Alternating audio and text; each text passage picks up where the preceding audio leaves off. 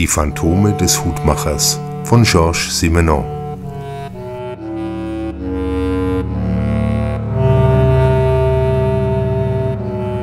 Teil 3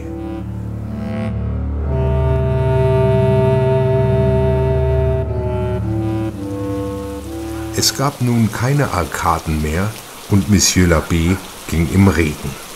Die Straße wurde wieder dunkel, mal verschwand der Hutmacher, mal tauchte er im Lichtkreis einer Straßenlaterne wieder auf, während sich Kaschudas genau in der Mitte der Fahrbahn hielt. Er hielt den Atem an, starr vor Entsetzen und doch unfähig umzukehren. Es war die gefährlichste Tageszeit. Drei der vier alten Frauen waren zwischen halb sechs und sieben Uhr abends ermordet worden. Hintereinander erreichten sie nun das ruhige Museumsviertel mit den kleinen einstöckigen Häusern und hinter manchen Fensterscheiben sah man Familien versammelt, Kinder, die ihre Hausaufgaben machten, Frauen, die bereits den Tisch fürs Abendessen gedeckt hatten. Plötzlich war Monsieur l'Abbé im Dunkeln verschwunden. Und nach einigen Schritten blieb Kaschudas stehen wie einer, der eben etwas Wichtiges verloren hatte. Wegen der Dunkelheit blieb der Hutmacher wie vom Erdboden verschluckt. Wahrscheinlich war er in irgendeinem Winkel stehen geblieben und wartete, geräuschlos, bewegungslos, denn war er nicht imstande, sich geräuschlos fortzubewegen? Es war nicht auszuschließen, dass er sich dem Schneiderlein näherte und dieses erstarrte, wie von schneidender Kälte durchdrungen.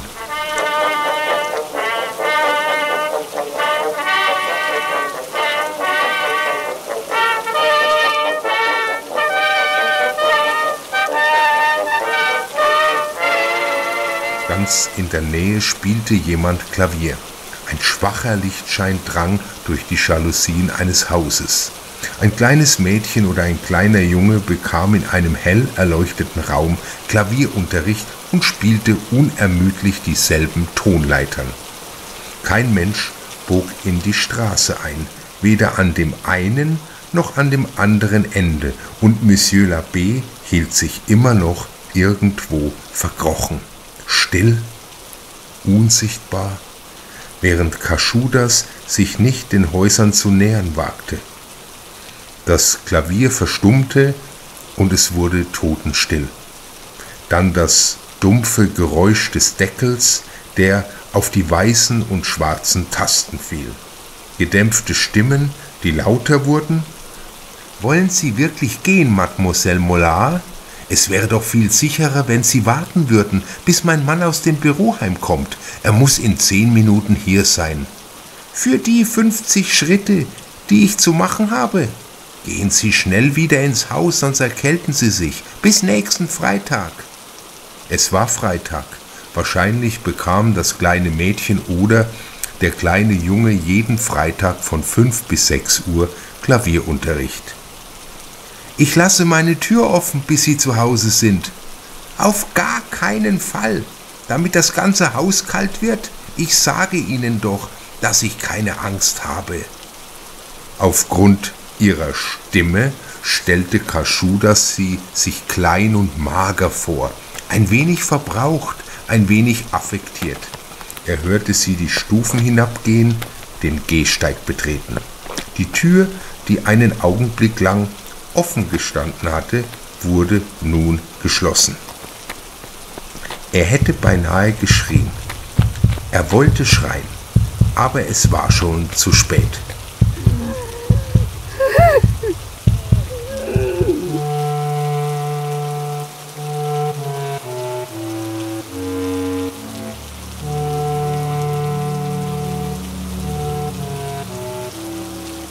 Es machte nicht mehr Lärm als zum Beispiel ein Fasan, der aus einer Hecke auffliegt.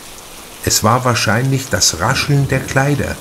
Jeder in der Stadt wusste, wie es geschah, und Kaschudas fuhr sich unbewusst mit der Hand an die Kehle, stellte sich die Cello-Seite vor, die sich um den Hals zog, machte eine Anstrengung, um die Starrheit von sich abzuschütteln.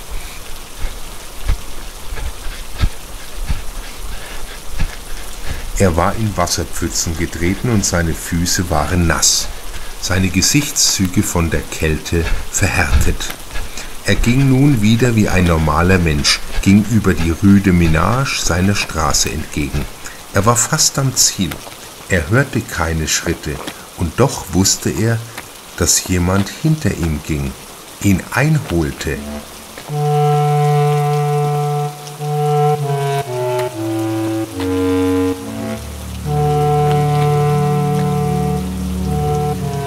Wagte weder zu laufen noch stehen zu bleiben, und eine Silhouette, größer und breiter als er, tauchte zu seiner Linken auf.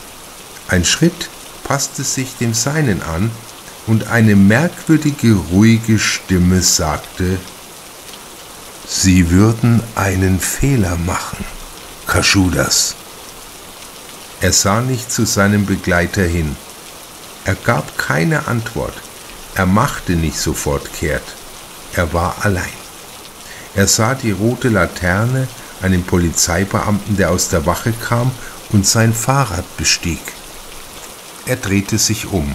Ohne sich weiter um ihn zu kümmern, hatte Monsieur Labbé kehrt gemacht und begab sich nun, die Hände in den Taschen, den Kragen seines Mantels hochgeschlagen, in Richtung Rue de Minage, die ihrer beider Straße war.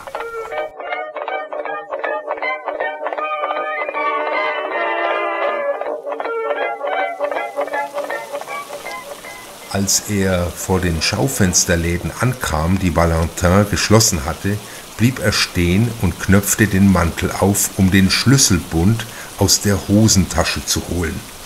Er machte immer die gleichen Bewegungen, wenn er abends nach Hause kam.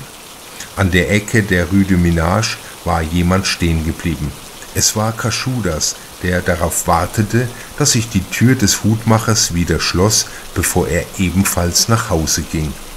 Monsieur Labbé blickte hoch und bemerkte die Frau des Schneiders in der Werkstatt im ersten Stock. Etwas beunruhigt hatte sie gerade einen Blick aus dem Fenster geworfen. Er drehte den Schlüssel im Schloss um, trat in die warme Dunkelheit, schloss die Tür wieder, bevor er den Lichtschalter umdrehte und legte die Querstange vor. Dann blieb er stehen, das Gesicht an einen Spalt im Fensterladen gepresst. Der kleine Schneider, der vorsichtshalber immer noch in der Mitte der Straße blieb, kam endlich bei seinem Haus an. Er ging stockend, mit unregelmäßigen Schritten und zum ersten Mal bemerkte Monsieur Labbé, dass er das eine Bein beim Gehen ein wenig zur Seite schlenkerte. Auch Kaschudas schaute nach oben, doch seine Frau war gerade nicht am Fenster. Schnell verschwand er in seinem Geschäft, aus dem er aber wieder heraus musste, um die Läden anzubringen, denn er hatte keinen Gesellen, der das an seiner Stelle getan hätte. Seine Bewegungen waren ruckartig, fahrig. Wahrscheinlich hatte er der Treppe zugewandt, der gleichen Treppe wie in der Hutmacherei, gerufen Ich bin's. Er beeilte sich, verriegelte die Tür.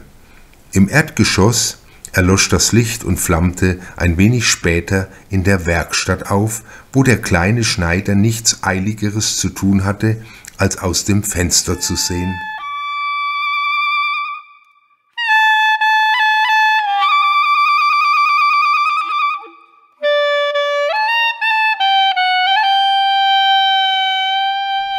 Monsieur Labbé zog sich von seinem Beobachtungsposten zurück, legte den Rest des Geldes, das er vor dem Weggehen aus der Kasse genommen hatte, wieder dorthin zurück, ging in den Raum hinter dem Laden und spielte einen Augenblick lang mit einem Gegenstand herum, den er aus der Tasche gezogen hatte.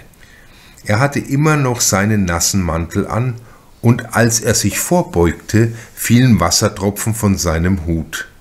Er nahm ihn erst ab, als er am Fuß der Treppe vor dem Kleiderständer stand. Unter der Küchentür sah er einen Lichtstreifen.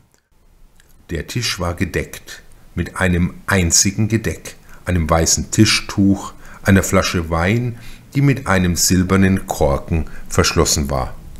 Guten Abend, Louise. Hat meine Frau mich gerufen? Nein, Monsieur. Das Dienstmädchen blickte auf seine Füße, als er sich vor den Ofen setzte, holte die Pantoffeln und kniete sich auf den Boden. Er hatte das nie von ihr verlangt. Sie war sicherlich auf einem Bauernhof darauf dressiert worden, den Männern die Schuhe auszuziehen, ihrem Vater, ihren Brüdern, wenn sie vom Feld zurückkamen. Es war genauso warm wie im Laden, und die Luft hatte die gleiche drückende Unbeweglichkeit, die die Gegenstände so erstarrt und zeitentrückt erschienen ließen. Vor dem Fenster das auf den Hof ging, rauschte noch immer der Regen, während dahinter das Kupferpendel einer alten Standuhr im Nussbaumkasten hin und her schwang, scheinbar so langsam wie nirgendwo sonst auf der ganzen Welt. Die Zeit war nicht die gleiche wie in der Hutmacherei, auch nicht wie auf der Uhr von Monsieur Labbé und auch nicht wie auf dem Wecker im ersten Stock.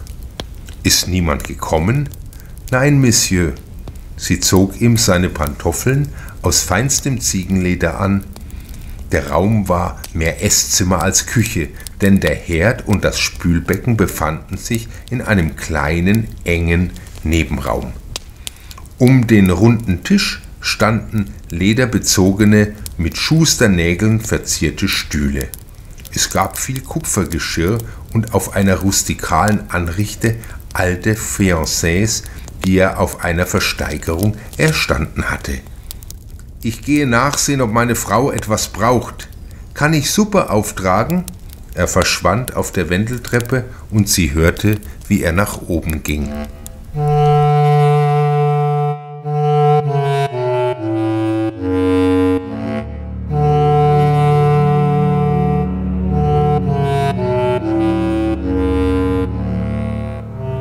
Als er wieder herunterkam, sagte er, während er sich an den Tisch setzte, Sie hat keinen großen Hunger. Was gibt es zu essen? Er hatte sein Buch vor sich liegen und die Hornbrille aus dem Etui genommen. Der Ofen wärmte ihm den Rücken. Er aß sehr langsam. Louise bediente ihn und zwischen den einzelnen Gerichten wartete sie reglos mit verlorenem Blick in ihrer engen Kammer. Sie war noch keine 20 Jahre alt. Sie war eher dick, sehr dumm, mit ausdruckslosen, hervorstechenden Augen.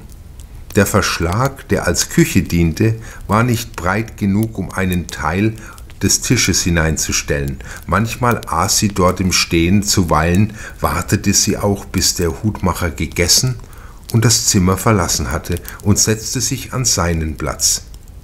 Er konnte sie nicht leiden. Er hatte keine glückliche Hand gehabt, als er sie eingestellt hatte, doch darüber konnte er ja später nachdenken. Um Viertel nach acht wischte er sich den Mund ab, schob die zusammengerollte Serviette in den silbernen Ring, verkorkte die Flasche, von der er nur ein einziges Glas getrunken hatte, und stand seufzend auf. Es ist fertig, sagte er. Darauf nahm er das Tablett, auf dem ein zweites Abendessen angerichtet war, und ging ein weiteres Mal zur Treppe. Wie viele Stufen mögen es sein? Ich habe sie nie gezählt. Die Schwierigkeit bestand darin, mit der einen Hand das Tablett zu halten, ohne etwas zu verschütten, mit der anderen den Schlüssel aus der Tasche zu holen und ihn im Schloss umzudrehen, denn diese Tür war immer verschlossen, selbst wenn er zu Hause war. Er drehte den Lichtschalter um und Kaschuda sah von gegenüber, wie es hinter den Rollos hell wurde.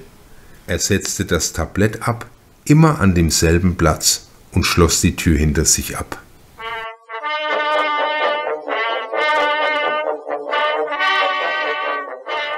Das war alles sehr kompliziert.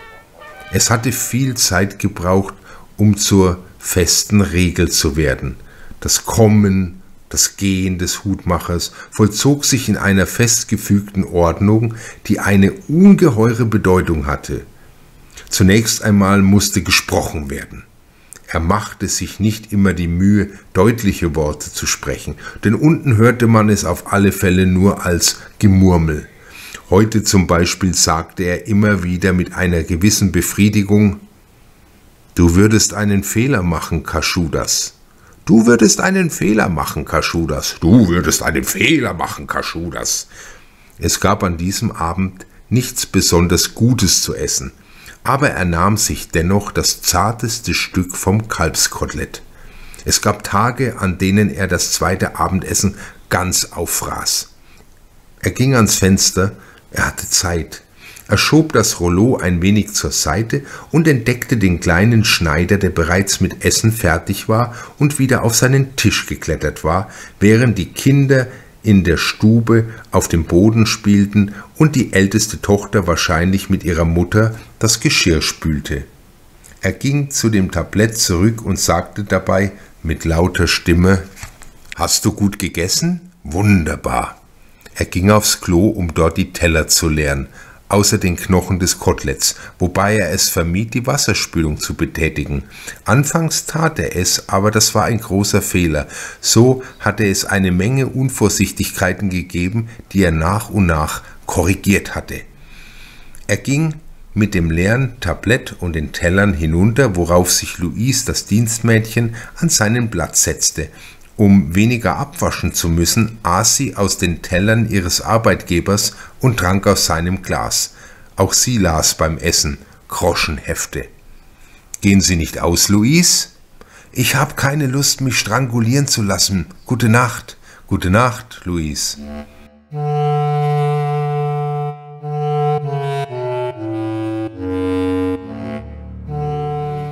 Es war fast vorbei. Ja, noch einige Riten waren zu erfüllen, sich vergewissern gehen, dass die Ladentür fest verschlossen war, das Licht löschen, erneut die Treppe hinaufsteigen, den Schlüssel auf der Tasche nehmen, wieder verschließen. Nachher würde Louise die Treppe hinaufsteigen, um sich im hinteren Zimmer schlafen zu legen, und er würde sie noch eine gute Viertelstunde lang schwerfällig auf und ab gehen hören, bevor die Matratze unter ihrem Gewicht quietschte. Trampel! Er durfte jetzt viel lauter sprechen. Von Zeit zu Zeit musste er das einfach. Er konnte nun auch die Wasserspülung im Klo betätigen und die Essensreste hinunterspülen, Kragen und Krawatte abnehmen, seine Jacke ausziehen, in den Morgenrock schlüpfen. Die Phantome des Hutmachers von Georges Simenon Teil 3